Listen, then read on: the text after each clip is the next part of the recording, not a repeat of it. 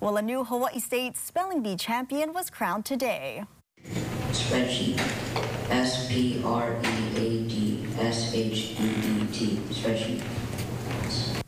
That's seventh grader Sebastian Bejar, who beat over a dozen students this afternoon at Iolani School. He started off easy with the word spreadsheet.